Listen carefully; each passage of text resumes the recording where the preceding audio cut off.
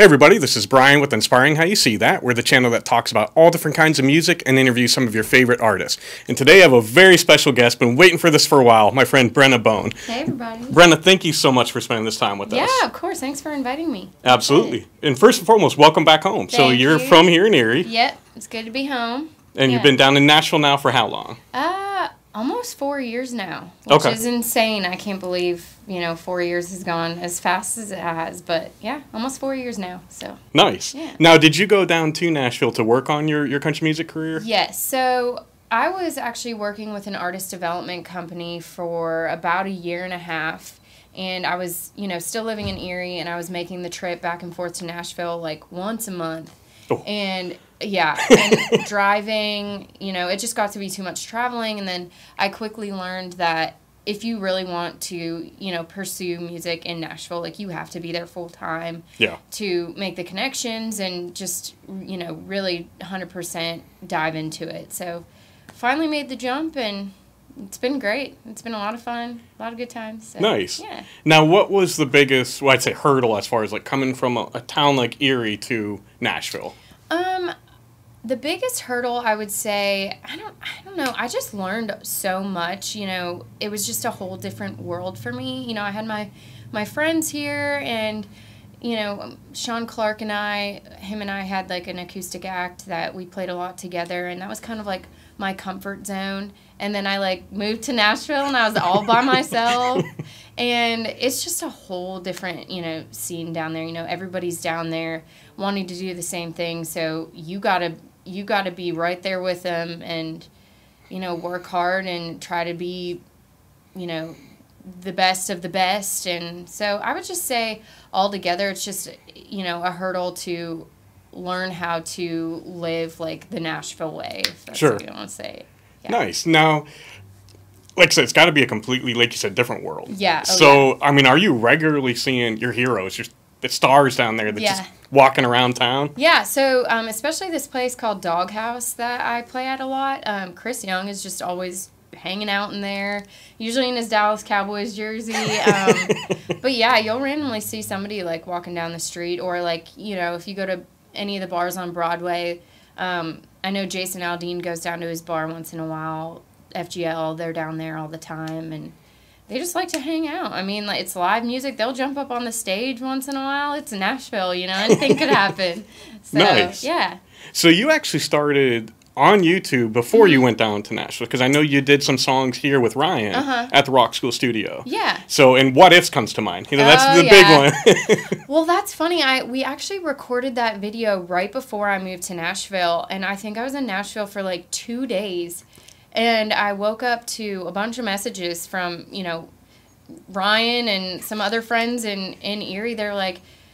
What happened? Like all of a sudden, you know, this video just like kind of blew up for us, and I, I think it was Taste of Country got their hands on it and did an article on us and said we, you know, sounded just like Lauren Alaina and Kane Brown.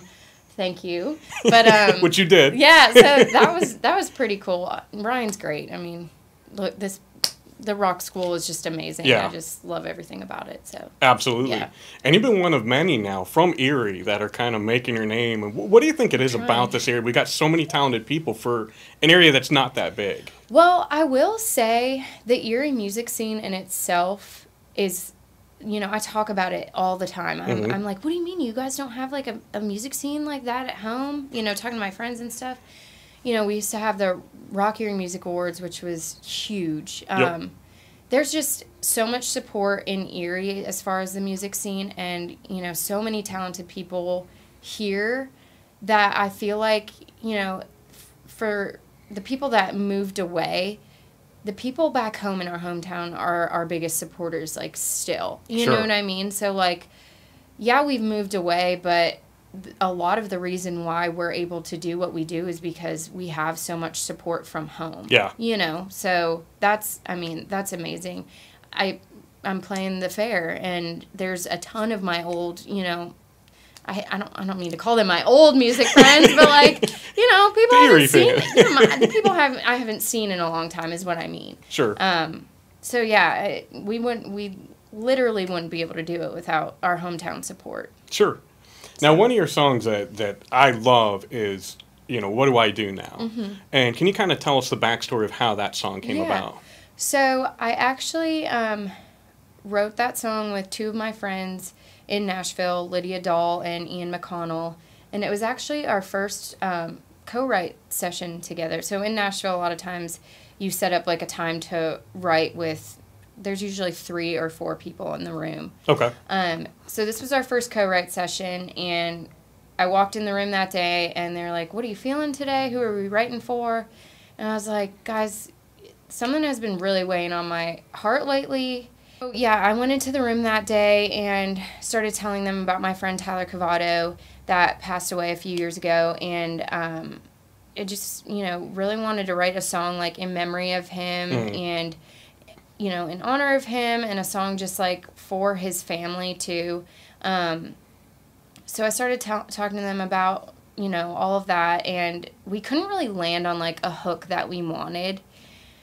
And i just kept sitting there saying all i remember me and my three other girlfriends you know the night that we learned of his passing all we could sit there and say was like what are we supposed to do now? Mm-hmm. Like how do you just go on and like live your life when somebody's not there anymore? Yeah. and my friend lydia she said that's it.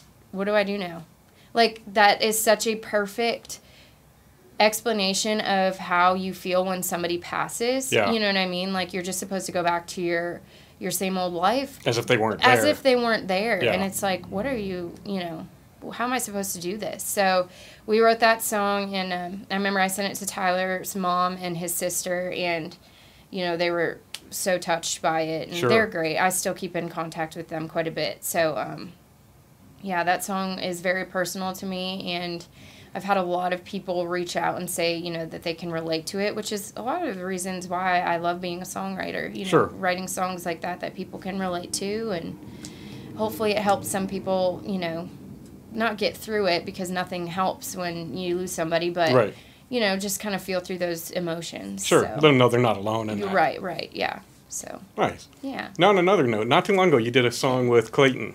clayton shay He's, So how did that come about? Because little backstory. Okay, okay so yeah how do you know clayton so actually I started watching Clayton through YouTube. I'm like, this Okay, guy's pretty he's good. great, yeah. And what I did one day is I sent him a message on Instagram. I was like, mm-hmm. hey, there's a girl from my hometown down in Nashville, mm-hmm. Brenna Bone. You need to sing with her. He's like, I know Brenna. So a few months later, that came out. So I'm going to take credit mm. for myself for Oh, that song. I, he's great. I, he's one of my really good friends, one of my go-to co-writers. Um, yeah, we met in Nashville and we started writing together. And he actually was a writer on my last single called "Want It Like That." okay. So um, yeah, him and I have teamed up on on that, and then uh, we did the "Chasing After You" cover video, Yep. which was awesome. He's just great. He's so talented, and I can't. I can't wait to watch his career just continue to. Like, take me with you. You guys sounded amazing together. Yeah, he's he's great. Well, thanks. Yeah, Nice. and we actually just played a show together. Well, not together. He played after me, but um, at this new place in Nashville called it's on Fifth and Broadway, which Broadway's like the really busy street sure. of bars and stuff down there. And we played on this new rooftop stage. Um, so yeah, I played and then he played right after me. So that was a lot of a lot of fun. We actually did the "Chasing After You" cover. Nice. So yeah, it was a lot of fun. Very It's great. cool. Now you kind of have a, a unique perspective on everything that we've all gone through in the past year and a half. Yeah. Because as an artist, and you're also in the medical field. Right. So how did those kind of come together at all? I mean, did that shape you as a songwriter at all? What you went through? Uh, yeah, I would definitely say so. I mean, it has been a rough year, and I'm I'm a respiratory therapist, so I've been. I think I've talked to you a little bit about this, Mhm. but I've been working through COVID. You know, for the last what eighteen months, I've been working in the COVID unit. Um, that's how I pay my bills until music can do that fully. But um, yeah, so I've been I've been doing that. It's been a rough year, and you know, it's one of those things where I'm thankful that I had that job because I mean, what a scary time it was for everyone. Sure. I mean, Nashville shut down. I mean, everything did, but like some of my friends had to move home, like for some of that time and live with their parents because their livelihood is playing Yeah. music. What are they supposed to do? Yeah. You know? So eventually, you know, people started doing live streams with Instagram and Facebook and stuff and, you know, posting their Venmos. That was like the way that they survived through COVID. Sure. Um, but yeah, as far as songwriting, COVID has definitely changed me, you know, in an emotional sense. You know, if you ask anybody close to me, I like, not to say poor me or anything, but like I literally cry every day. Like, just because it's been such an emotional, you know, time and I've grown so close to my patients and my coworkers and um, I actually wrote a song about kind of my experience and my like view on on COVID, like the side that I'm, you know, the the perspective that I've seen it from. Okay. And uh, I actually went into this write uh, with Chris Sly and Mary Cutter, and Chris actually had COVID pretty badly, and so you know. I, I took in this idea. I'm like, nobody's wanted to write this song with me. I really want to get it out because, you know, it's such an emotional part of me. Sure. And, you know, I just wanted to write a song for my patients, for, you know, everybody that supported me through this time. Without my family and my friends, I literally would have crumbled. So that's kind of, you know, what the song's about. It's called Got You Home. And um, I wrote it from the perspective of, you know, all through this whole time with COVID, everyone's calling us the heroes and stuff, which I'm greatly like appreciate. Like, you know, that's so nice. But at the same time, like, I could not have done it without calling my mom every day. And, you know, I talk in the song about going to the grocery store and having that person, like, thank me for, you know, what I'm doing, you know, at the end of a horrible day. Yeah. Um, so actually, yeah, that song's called "Got You Home," and I I, I want to do something with it someday. Nice. I don't know if I'll fully, you know, produce it and maybe do more of like a piano ballad, something Okay. a little different for me. Okay. Um, but yeah, I would love to share. You know, that's a real part of me, and Sure. something that I used to try to hide. That I was, you know, in the medical field as well because I don't want people to think that I don't work as hard at music. Right. But right now, it's just how I pay my bills, and that's what I tell people. It's just how it is right now. So, yeah. Nice. Well, that'll be awesome. I, I think because like you, you kind of mentioned that everyone had to come together. yeah, I mean, regardless of political differences, whatever. It's like Yeah. we all got to get through this Yeah. together. mm-hmm. So that's Yeah. awesome. yeah. So, thanks. So you've been been growing, blowing up, which is incredible to see. What's next for you? well, I have been working on two two more singles. Um, plan is to release them in the fall.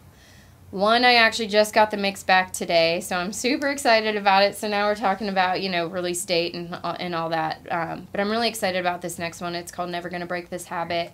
Um, I'll actually be playing it at the fair tomorrow night. So Nice. or not tomorrow night. Friday night.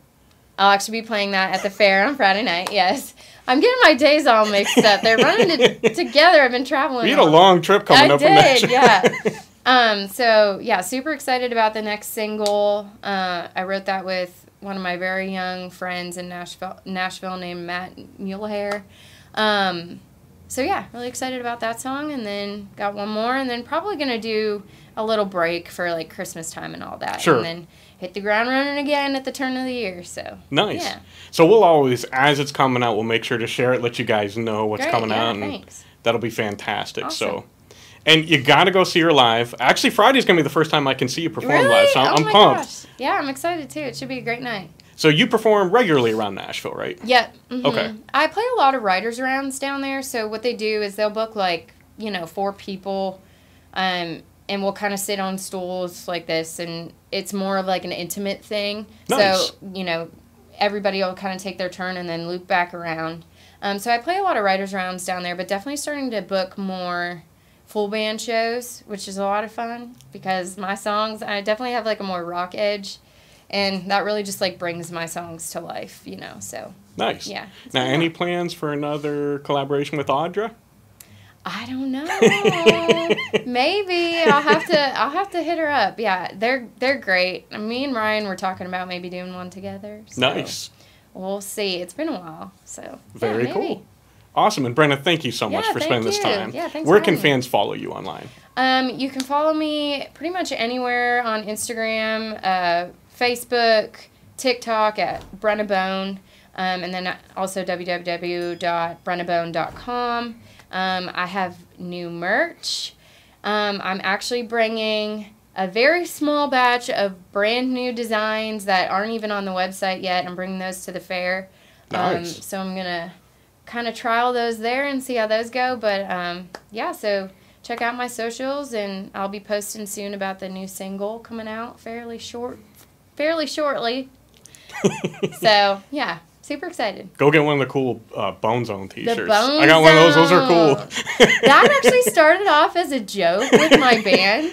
You Like know- it's. How do you not have well, that? Well, you know what? I I've been made fun of my whole life for my last name, and you know to the point where my development company tried to change it, and I'm like, you gotta capitalize gonna- on that. I'm gonna keep it, and you know now I just run with it and I make the best out of it. So, Bone Zone in full force now. There you go. Yeah. There you go. Is there anything else like you'd like to say to fans before we go? just thank you for you know having me, and thanks everybody for following me, and please keep adding my music to your playlist and sharing it. It helps so much. So yeah, thank you. Well, thank you again. We really Yeah, appreciate thanks. it. Yeah. And thank you guys as always for spending this time with us. We love you all. God bless and rock on. You did everything you said and it didn't quite work out. That halo on your head is a little sideways now. Dad's giving up on dreams.